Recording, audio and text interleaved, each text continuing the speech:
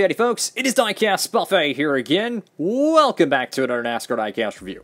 And let me tell you, finally, after years and years and years, we get a Celsius 164. What? This is freaking cool. This is the Corey LaJoie Celsius Chevrolet Camaro. So glad we finally got one of these uh, paint schemes made. Now, it is on a base because, uh, well, certain people apparently find energy, drinks um, as dangerous as gambling or alcohol. So that that's always great. Uh, but anyways, let's go ahead and get this diecast out of the box. Bam! Look at this epic freaking diecast. Holy cow, this is so cool, guys. If you have not picked up this car, holy cow, go to the Circle B, get it while it's in stock. This thing is incredible, and while you're at it, pick up that Michael McDowell Loves car. Those incredible freaking diecast, guys. Brand new here in the studio.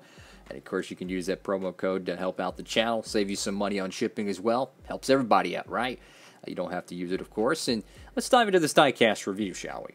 Looking at this car here, it's a pretty simple paint scheme. The top of the car looks like a vinyl muscle top uh, that you would see in the late 60s. You have the Celsius logo, which is pretty cool looking. On the hood, you have kind of the, the Schluter Systems orange uh, that goes around the front. Now, I don't think it's flames. I think it's more of like a like a splash pattern or something. Whatever it is, looks really, really cool. Goes right above the headlights, wraps all the way to the side, and dissipates right where the door number is, or front panel number. you get the headlights there, a little bit wonky jaw on one side's a little bit higher. That's kind of unfortunately common nowadays. Got the number 7 Sunoco, Spire Motorsports number, uh, or Sunoco right there. It does come on a base. This is your next gen bases. They're pretty much the same. I will say though, I have heard that if you do crack these bases, which be extremely careful if you do, there is a chance it could actually crack the plastic as well on the on the base of the car. I know it's super rare, but I have actually seen someone's um, I think it was a Kevin Harvick diecast, and it actually cracked the bottom of the uh, the plastic chassis of the car trying to get it off. So just be careful, right? Um, but I'm just so glad they got this car made because here's the reality about NASCAR diecast is that if they don't quote unquote officially make it, someone will. Just keeping it real, and that's how it's been for a while now with the Celsius cars. People want them. If you don't make the diecast of it, someone else will. And it's an awesome paint scheme. They sponsor a buttload of drivers. I mean, they sponsor ARCA cars, Xfinity, Cup Series. I think they even sponsored some trucks as well. They have been all over the sport. But what I would like to see them do is run different flavors. If you're going to sponsor a lot, run some different flavors. I tell you, the marketing the marketing for it, it's going to be fantastic, especially if you get 164s made. Because if you're a big fan of this drink, which I've never drank it before, um, you're going to want to get all those diecasts made. And you know have those in your collection and be able to collect them, and it's just it's great for the sponsor, helps them be able to make more money, but it also helps the fan get more diecasts in their collection. So again, I've never tried this. I've heard it's I've heard it's good, right? I mean, most uh, energy drinks or nutrition energy drinks, whatever the biff you want to, uh, you know, categorize, categorize it, if I could English.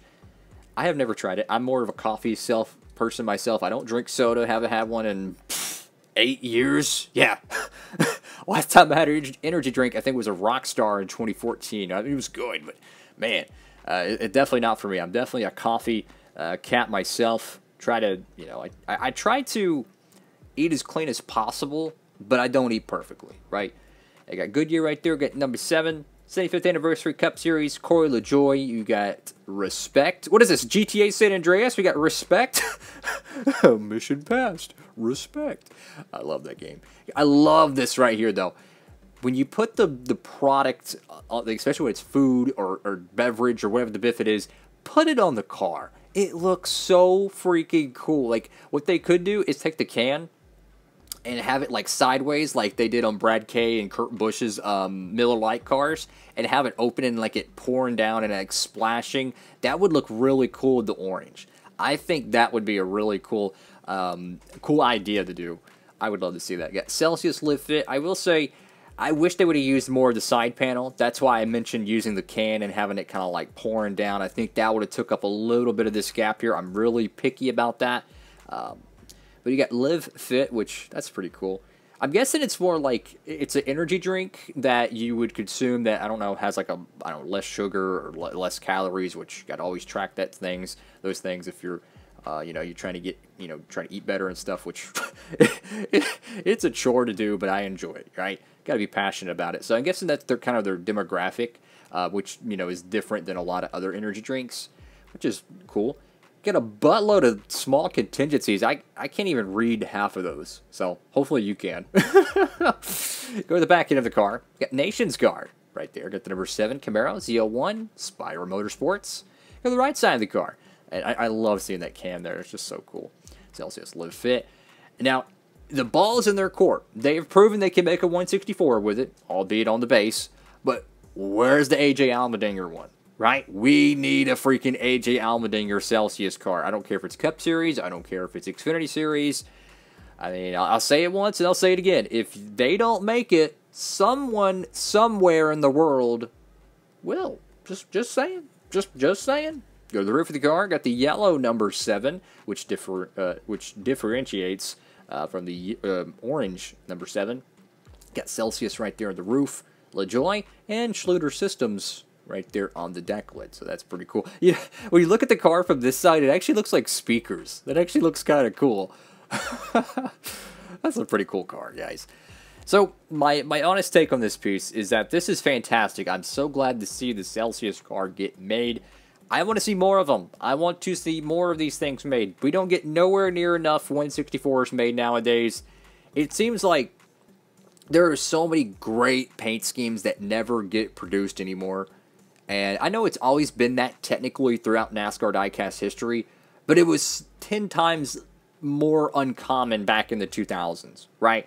Like, I mean, obscure small cup teams were getting diecast made, like like BAM Racing, right? The 49 team back in like 02 and 03 and 04. I mean, they were a significantly smaller team, and they were still getting 164s made for all their sponsors, just about. Uh, they had obscure Busch Series cars that were getting promos. I mean, we're like talking borderline unsponsored cars that were getting like promo diecasts. And then you look at all the paint schemes that Corey LaJoie runs all year, all the paint schemes AJ Allmendinger runs all year. Where's the 164s? That's what I'm saying. They don't make nowhere near enough of them, and that's why a lot of people make them themselves. I'm just saying it, it is a there is a huge shift in the diecast realm, and it's because they don't make the, all the cars anymore. They don't make them, and people have taken that into their own hands, and they're like, "Hey, I want this in my collection. I'm a huge fan of this driver. I'm a huge fan of this." What do they do? They make it themselves. You need a great example? Check out Chase Elliott's Pocono win. Yes, I know it was a, a DQ'd event or whatever, but regardless, people want that in their collection. And that's why you see a lot of people make 124s of it, and they're freaking awesome. The the the the raced wear detail they put into them. Uh, so that's kind of where the diecast market has went. Is that they don't make nowhere near um, the enough paint schemes that are ran all year. I mean, I'm just going to show some great examples. You know, if I really want a Sam Mayer diecast, got to make it yourself. Okay, well, how about another Kaulig paint scheme? Wow, got to got to make it yourself, right? You know, if you want a, a, a Jeffrey Earnhardt paint scheme, well, you got to make it yourself. Okay, what about a Ross Chastain truck from 2023? Oh, well, you got to make it yourself. If, what about a what about a number 15 Dead On Tools Ford? You got to make it yourself, right? That's the unfortunate reality when it comes to most diecast nowadays. Is you get all these incredible paint schemes you see on television, and they're racing and stuff, and they don't make no 164s for it, and it's super frustrating.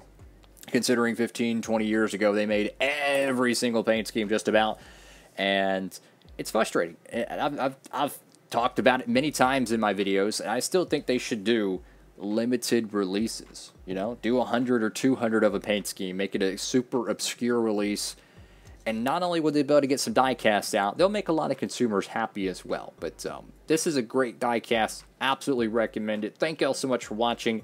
Have a blessed one, everybody. Diecast Buffet. Signing off.